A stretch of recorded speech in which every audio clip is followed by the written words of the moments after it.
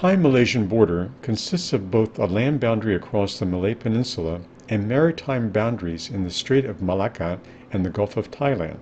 There are several official land border crossings between the two territories that are ports of entry into the respective countries.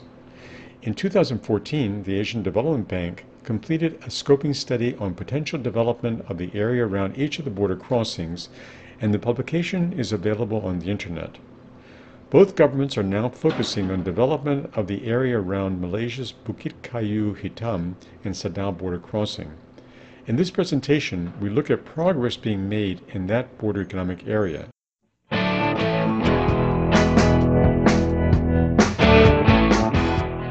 Kedah is the eighth largest state by area in Malaysia, and it has a population of 1.65 million. Its capital, Alor Setar, has a population of 400,000 and is located 48 kilometers from the border crossing into Thailand. The driver for border economic area development is the Northern Corridor Economic Region, or NCER. It is overseen by the Northern Corridor Implementation Authority, or NCIA, which sets the strategy for a balanced and sustainable development of agriculture, manufacturing, and services in the border region. There are at present five important components to Kedah's border economic area. Kedah Science and Technology Park and Kulim High Tech Park, Bukit Kayu Hitam Special Border Economic Zone, Rubber City, Bukit Kayu Hitam CIQ and road facilities, and tourism, especially in Langkawi Island.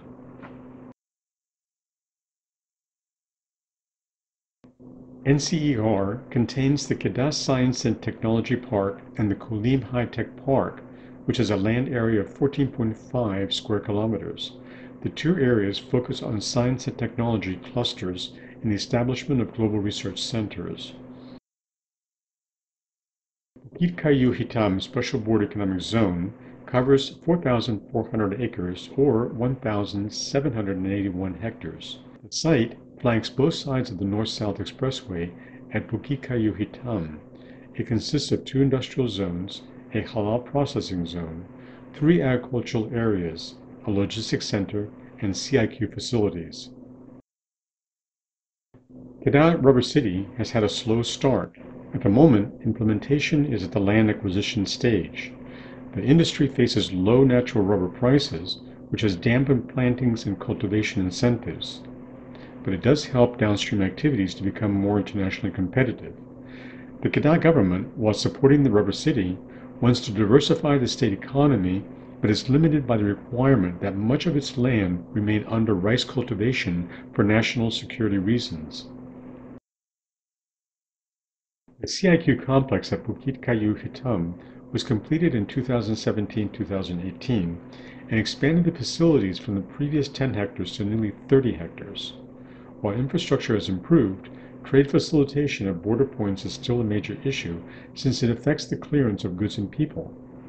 To address these issues, the governments of Malaysia and Thailand have agreed to extend the CIQ operating hours at the Bukit Kayu Hitam and Sadao CIQ facilities from 18 to 24 hours daily for a trial period. This step represents a beginning toward implementation of a common CIQ in Bukit Kayu Hitam Sadao, which is currently tasked under the IMTGT Working Group on Trade and Investment.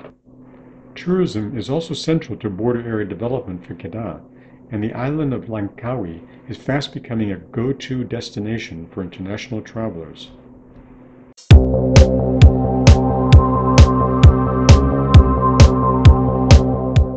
Songkhla province covers nearly 7,400 square kilometers, and its population of 1.4 million makes it the 11th largest province of Thailand. Its capital, Hat Yai, has a population of 0.36 million and is located 70 kilometers from the border crossing into Malaysia.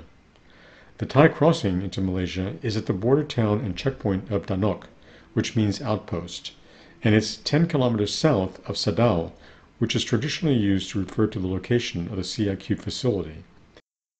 Songkhla's four key border economic area components are the Southern Industrial Estate and Rubber City, Songkhla Deep Sea Port, the Sadao CIQ, and Padang Besar CIQ. Southern Industrial Estate, or SIE, along with Rubber City within it, is located 15 kilometers from Hat Yai and 82 kilometers from the border with Malaysia.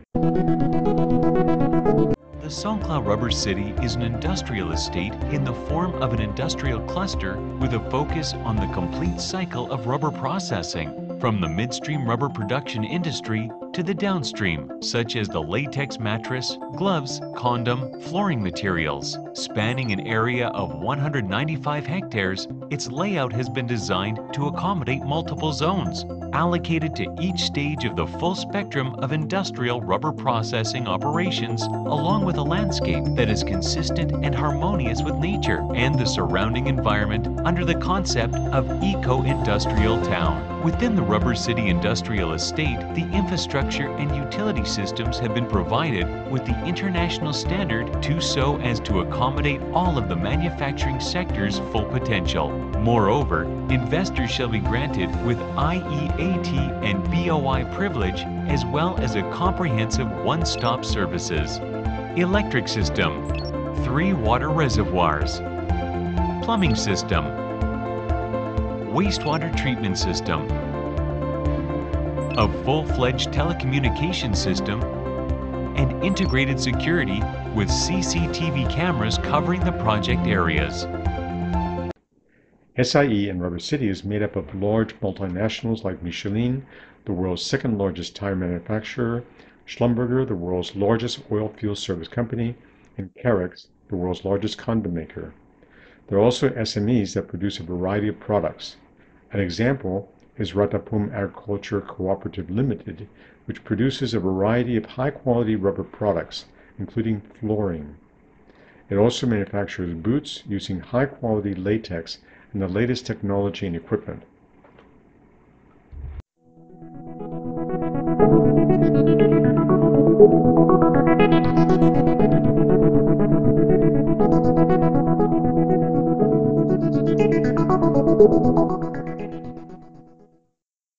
The Songkhla Deep Sea Port was constructed in 1986, and Chao Phraya International Port Company Limited, a private company, has been operating the port since 1988. The length of the pier is 500 meters, with a width of 120 meters. Overall, the entire pier covers 115,200 square meters. Port capacity is 2.1 million tons of cargo a year. For containers, the capacity is 200,000 20-foot equivalent units, or TEU, a year. In the last six years, the number of ships entering the port each year has varied from 338 to 550. About one half are container ships. There are three major limitations to the existing port. First, the maximum draft of a ship is 8 meters, and a large ship cannot exceed a draft of 7.7 meters. The size of a ship is limited to a maximum of 173 length overall, or LOA, meters, and its beam cannot exceed 25 meters. By way of comparison, Penang Port has a draft limitation of 11 meters for ships. Second, the size of the container yard is already near full capacity. With the load-bearing limitation of the pier, intermodal container guidelines indicate a maximum stacking of three containers. However, containers are currently being densely positioned up to six stacks based on a last-in, first-out or LIFO strategy. Third, there are no front cranes for loading and unloading containers and other cargo. All ships must have their own built-in cranes. A new facility, Songkhla 2 Port, is to be located at Natab Subdistrict in Chana District of Songkhla Province, which is about 40 kilometers south of the existing Songkhla Port. The proposed size is 1,200 meters long by 900 meters wide. The project is currently at the Environmental Health Impact Assessment, or EHIA, stage. Songkhla Sadao Customs Checkpoint, along with that of Padang Besar, account for one half of Thailand's total value of border trade. The increasingly large volume of trade through Sadao and plans for border economic area implementation have motivated improvements in the existing facility with a new truck depot and better accommodations at the border. And most noteworthy, the construction of a huge new CIQ facility that is to be operational by the end of 2019. The following are the main characteristics of the new facility. The new CIQ will be finished in September 2019. There will need to be cooperation with the Malaysian authorities for its opening, which is expected in early 2020. Construction budget is 1,532 million baht, which is 48.2 million US dollars. Total area is 559 rai, which is nearly 90 hectares or 222 acres. CIQ facilities will take up 20% of the total area. It will have three passenger x-ray machines, two x-ray machines for trucks, and an area designated for six x-ray machines for trucks. For road access, there's an extension from Highway Number 4 to the new Sadao Customs checkpoint. The new CIQ segments traffic between people and cargo trucks. Housing consists of three buildings with 34 apartments for both Sadao and Padang Besar customs officials. The Thai Malaysian Road will have nine lanes. Finally, the existing CIQ facility will be used exclusively for movement of people, cars, and buses, that is, no trucks. And the new facility will accommodate all, that is, people, cars, buses, and trucks. Padang Besar CIQ is located within Songkhla province and services movements of goods and people from Perlis state of Malaysia. The customs authority at this border crossing handles both road and rail traffic across the border. The major constraint at the Padang Besar CIQ facility is its inability to expand its capacity due to large concentration of housing and commercial sites in the area. The two major problems are as follows. Continuous traffic congestion along the border and delays in container movements due to the limitation of the area available for storage. The following improvements are being made to address these problems. Investment in mobile X-ray machines, relocation and upgrading of fixed X-ray machines, construction of new CIQ office building, a new $1.6 million warehouse project and central storage building with improved cargo truck parking area to increase capacity and reduce congestion. There are plans to develop an electric double rail train station from Padang Besar to Hat It will cover 48 kilometers and service three stations, Padang Besar, Klong Nai, and Hat Yai. It will have a 3.5 million passenger capacity annually and transport 1.5 million tons of cargo a year. Travel time from Padang Besar to Hat Yai will be 28 minutes. Malaysia and Thailand are near completion on their respective BEAs in Kedah and Songkhla. Separate industrial estates exist with activities based on a simple model of trade of each country's comparative advantages.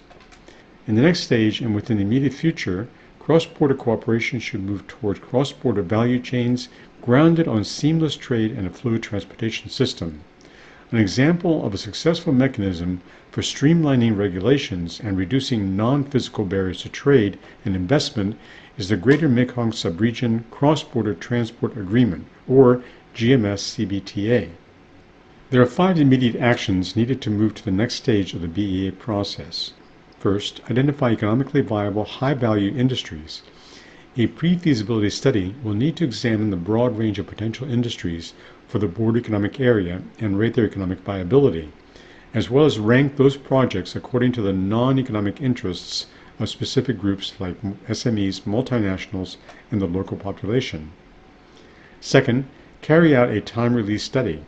At the 10th IMTGT Summit, ADB committed to conducting a time release study on cargo clearance for the IMTGT customs checkpoints. Implementation of that commitment should be carried out as soon as possible and updated annually to monitor time release progress on both sides of the Bukit Kayu Hitam Sadao border crossing. Third, rationalize expansion of the second Songkhla port. Development of the second Songkhla Port project in Natap subdistrict of Songkhla province is critical to the BEAs of both Kedah and Songkhla. In assessing the project, it's important that consideration be given to the interests and preferences of the local population, as well as those of BEA interest groups. ADB could assist in gathering and processing the information to identify the optimal strategy going forward. Fourth, expand capacity of Malaysia's North-South Expressway from Bukit Kayu Hitam to Alor Setar. The Bukit Kayu Hitam Jitra Expressway currently consists of only four lanes, two in each direction. It should be upgraded and aligned with other sections to the south of Alor that have six to eight lane stretches. Otherwise, congestion will occur quickly with development of the border economic area and facilitation of border crossings. Also, the Malaysian government needs to collaborate with the government of Thailand in the construction of a one kilometer road connecting the new CIQ Sadao checkpoint with that Kayu Hitam checkpoint. And fifth, establish common formalities between the two customs authorities. Having completed the design of the BEAs on both sides of the border, the governments of Malaysia and Thailand are now poised to move forward with the second stage of the development. It involves cross-border cooperation to facilitate trade and investment and upgrade transportation infrastructure. ADB's expertise and experience with the CBTA could help Malaysia and Thailand to adopt a similar mechanism and help bring concrete results quickly and efficiently.